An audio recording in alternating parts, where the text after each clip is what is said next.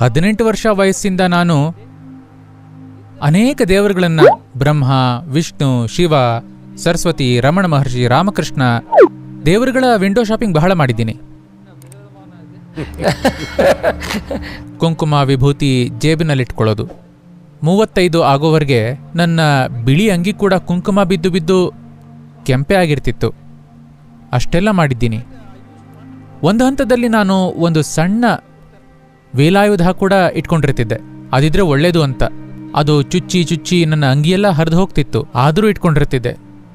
ಇದರಲ್ಲಿ ದೇವರ ಮೇಲೆ ನಂಬಿಕೆ ಇದೆ. ಒಳ್ಳೆಯ ಉದ್ದೇಶ ಕೂಡ ಇದೆ. ಆದರೂ ಈ ತರಹದ ಸೆಂಟಿಮೆಂಟ್ಗಳನ್ನು ಮೂರ್ಖತನ ಅನ್ಬಹುದಾ ಧೈರ್ಯ ಮಾಡಿ ಬಿಟ್ಬಿಡ್ಬಹುದಾ? ಅಥವಾ ಬಿಡಬಾರ್ದಾ?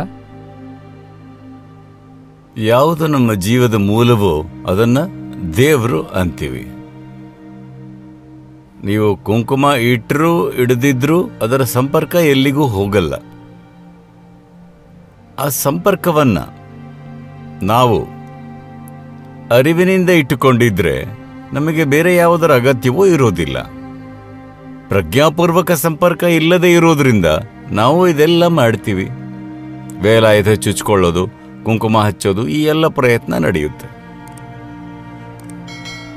ಇದು ಹೇಗಂದ್ರೆ ನಾವು ಬೆಳಗ್ಗೆ ಎದ್ದು ಕಿಟಕಿ ತೆಗೆದ್ರೆ ಒಳ್ಳೆ ಗಾಳಿ ನಮ್ಮ ಮನೆಯೊಳಗೆ ಬರುತ್ತೆ.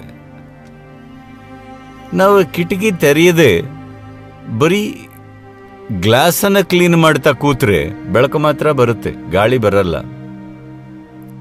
ಬೆಳಕು ಬಂದರೆ ಚೆನ್ನಾಗೇ ಇರುತ್ತೆ, ಆದರೆ ಗಾಳಿ ಇಲ್ಲದೆ ಜೀವ ಉಳಿಯಲ್ಲ. ಇದು ಹಾಗೇನೆ. ಬರೀ ಕುಂಕುಮ ಇಟ್ಟುಕೊಂಡು ದೇವಸ್ಥಾನಕ್ಕೆ ಹೋದ್ರೆ ಸಾಲಲ್ಲ. ನಮ್ಮ ಜೀವದ ಮೂಲದೊಂದಿಗೆ ಸಂಪರ್ಕ ಬರೋ ತರಹ ನಾವು ನಮ್ಮೊಳಗೆ ಮಾಡ್ಕೋಬೇಕು.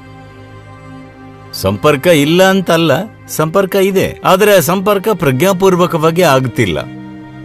ಅದು ಪ್ರಜ್ಞಾಪೂರ್ವಕವಾಗಿ ಆದ್ರೆ ಇದು ಯಾವುದರ ಅಗತ್ಯನೂ ನಮಗೆ ಇರಲ್ಲ. ಇದೆಲ್ಲಾನು ದಿಕ್ಸೂಚಿ ಅಷ್ಟೆ ದಿಕ್ಸೂಚಿಯನ್ನೇ ಪರಮಸತ್ಯ ಅಂದುಕೊಂಡ್ರೆ ಸಮಸ್ಯೆ ಆಗುತ್ತೆ. ಅಲ್ಲಿ ಬೋರ್ಡ್ ಹಾಕಿದ್ದಾರೆ. ಹಾಗೆ ಹೋದರೆ ಊಟಿ ಅಂತ ಬರೆದಿದ್ದಾರೆ. ಅದನ್ನ ನೋಡಿ ಅದೇ ಊಟಿ ಅಂತ ಬೋರ್ಡ್ ಹತ್ತಿ ಕೂತ್ರೆ ಊಟಿಯ ತಂಗಾಳಿ ನಿಮಗೆ ಸಿಗುತ್ತಾ? ಬೋರ್ಡ್ ನೋಡಿ ಹಾಗೆ ಹೋದ್ರೆ ಊಟಿ ತಲುಪ್ತೀರಿ. ಬೋರ್ಡ್ ಮೇಲೆ ಕೂತ್ರಿ ಏನ್ ಮಾಡೋದು? ಈಗ ಕುಂಕುಮ ಎಲ್ಲ ಬಿಟ್ಬಿಟ್ರ?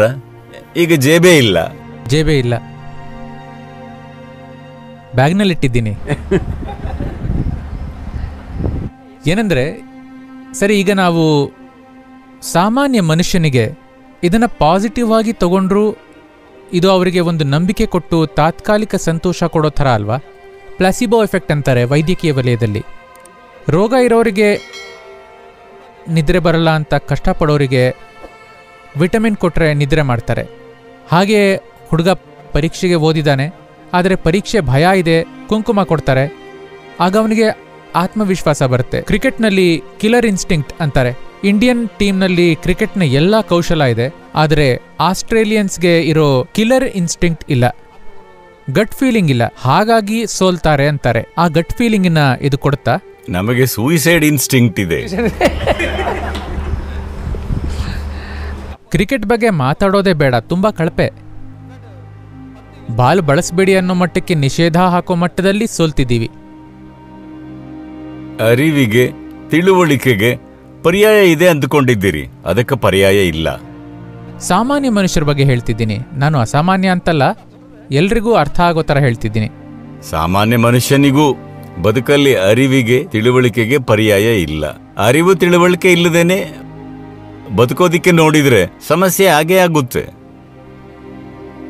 ವಿಭೂತಿ ಅಂತ ಮಾಡಿದ್ದು ಯಾಕಂದ್ರೆ ಅದಕ್ಕೊಂದು ಉದ್ದೇಶ ಇದೆ. ನಮಗೆ ಆ ವಿಭೂತಿ ಅನ್ನೋ ವಿಷಯ ಒಂದು ಮಾಧ್ಯಮದ ತರಹ. ಅದನ್ನು ಶಕ್ತಿಭರಿತವಾಗಿಸಿ ಕೊಡಬಹುದು. ಅದನ್ನು ಇಟ್ಟುಕೊಳ್ಳೋದ್ರಿಂದ ಅದನ್ನು ನಿರ್ದಿಷ್ಟ ಸ್ಥಳಗಳಲ್ಲಿ ಮಾತ್ರ ಹಚ್ಚಬೇಕು ಅಂದರು. ಅಲ್ಲಿ ಹಚ್ಚಿದ್ರೆ ಗ್ರಹಣಶೀಲತೆ ಹೆಚ್ಚುತ್ತೆ. ಜೀವನದ ಅನುಭವಗಳು ಸರಿಯಾದ ರೀತಿಯಲ್ಲಿ ನಮ್ಮೊಳಗೆ ಹೋಗಬೇಕು ಅನ್ನೋ ಉದ್ದೇಶದಿಂದ ಇದನ್ನೆಲ್ಲ ಹುಟ್ಟು ಹಾಕಿದರು. ವೈಜ್ಞಾನಿಕವಾಗಿ ಹುಟ್ಟು ಹಾಕಿದ್ದನ್ನು ನಾವು ಮುಟ್ಟಾಳರ ತರ ಪ್ರಯೋಗಿಸಿದ್ರೆ ವಿಜ್ಞಾನವು ಮೂರ್ಖತರವಾಗುತ್ತೆ ಆದ್ರಿಂದ ಒಂದು ನಿರ್ದಿಷ್ಟ ಉದ್ದೇಶಕ್ಕೆ ಮಾಡಿದ ವಿಷಯವನ್ನ ನಾವು ದೇಹ ಇಡೀ ಮೆತ್ತುಕೊಂಡ್ರೆ ಏನೂ ಆಗಲ್ಲ. ಎಲ್ಲದಕ್ಕೂ ಅದನ್ನೇ ಪರಿಹಾರ ಅಂದ್ರೆ ಅದು ಹೇಗಾಗುತ್ತೆ? ಎಲ್ಲದಕ್ಕೂ ಒಂದೇ ಮದ್ದು ತಗೊಂಡ್ರೆ ಏನಾಗುತ್ತೆ? ಈಗ ಪ್ಲಸಿಬೋ ಅಂದ್ರಿ. ಪ್ಲಸಿಬೋ ಯಾರಿಗಂದ್ರೆ ರೋಗ ಇಲ್ಲದೇನೆ ರೋಗ ಇರೋ ತರಹ ಆಡೋರಿಗೆ. ಅವರಿಗೆ ವೈಟಮಿನ್ ಕೊಟ್ರೆ ಸಾಕಾಗುತ್ತೆ. ಅದು ಬೇರೆ ವಿಷಯ. ನಿಜವಾದ ರೋಗಿಗೆ ಪ್ಲಾಸಿಬೋ ಕೊಟ್ರೆ ಸತ್ತ ಹೋಗ್ತಾನಷ್ಟೇ ಹೌದು. ಪರೀಕ್ಷೆಗೆ ಚೆನ್ನಾಗಿ ಓದಿಯೂ ಭಯ ಇದ್ದರೆ ಭಯ ಹೋಗಲಾಡಿಸೋದಕ್ಕೆ ಪ್ಲೆಸಿಬೋ ಎಫೆಕ್ಟ್.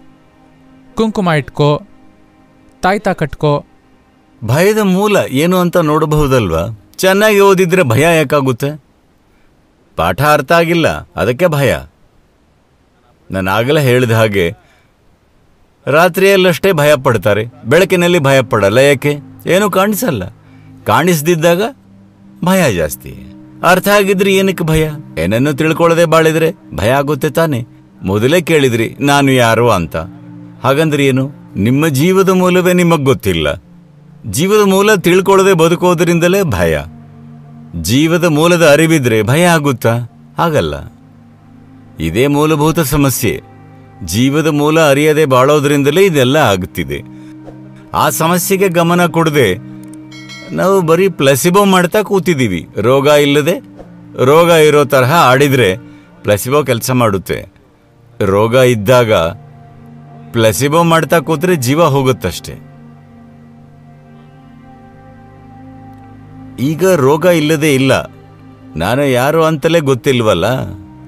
ಜೀವದ ಸ್ವರೂಪವನ್ನು ಅರಿತುಕೊಳ್ಳದೇನೆ ಜೀವಿಸೋದಕ್ಕೆ ನೋಡ್ತಿದ್ದೀವಿ. ನಮ್ಮ ಸ್ವರೂಪವನ್ನೇ ತಿಳ್ಕೊಳ್ಳದೆ ಬಾಳೋದಿಕ್ಕೆ ನೋಡ್ತಿದ್ದೀವಿ. ತೊಂದರೆ ಆಗೇ ಆಗುತ್ತೆ ಈ ಮೂಲಭೂತ ಸಮಸ್ಯೆಯನ್ನು ಬಗೆಹರಿಸದೆ ಏನೇನೋ ಮಾಡ್ತಾ ಇದ್ದೀವಿ. ಇದಕ್ಕೆ ಸ್ವಲ್ಪ ಗಮನ ಕೊಡಬೇಕು ತಾನೆ. ಈ ಗಮನ ಬಂದ್ರೆ ನಮ್ಮ ಅಂತರಂಗದ ಸ್ವರೂಪ ಏನು ಅಂತ ತಿಳ್ಕೊಳ್ಳೋ ಬಗ್ಗೆ ಗಮನ ಹರಿಸಿದ್ರೆ ಮಿಕ್ಕ ಭಯಗಳೆಲ್ಲ ತಾನಾಗೆ ಹೋಗುತ್ತೆ.